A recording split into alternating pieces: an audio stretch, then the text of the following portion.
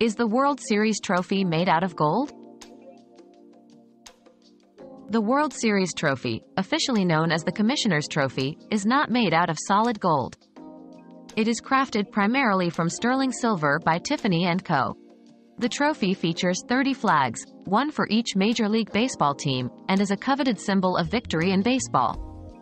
Its distinctive design and silver composition make it a revered and iconic sports trophy.